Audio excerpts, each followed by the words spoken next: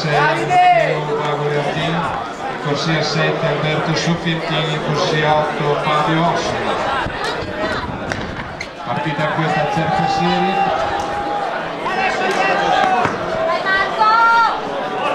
Lancio del martello che vede la vittoria.